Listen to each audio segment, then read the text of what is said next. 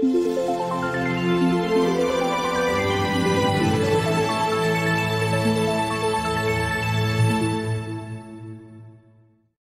京时间十一月十九日三点四十五分，一场国际友谊赛在西班牙与塞黑之间展开。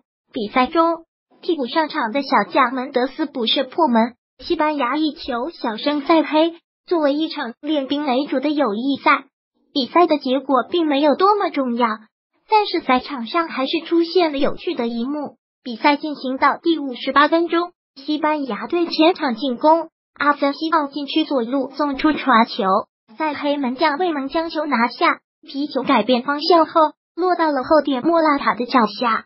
然而，面对空门的莫拉塔却诡异的将球踢飞，连送出传球的阿森西奥都露出了不可思议的表情。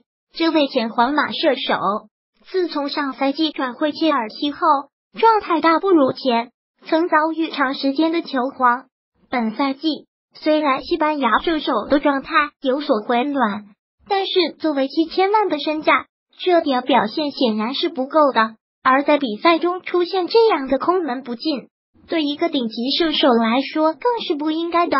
去年七月，莫拉塔以六千万欧元的身价加盟切尔西以来，似乎对于单刀球似乎已经产生了心理阴影。而他上一次为国家队进球，还是在一年以前。面对哥斯达黎加的友谊赛上，如今这样的糟糕状态，也难怪莫拉塔会错过跟随着斗牛士军团出征俄罗斯世界杯的机会。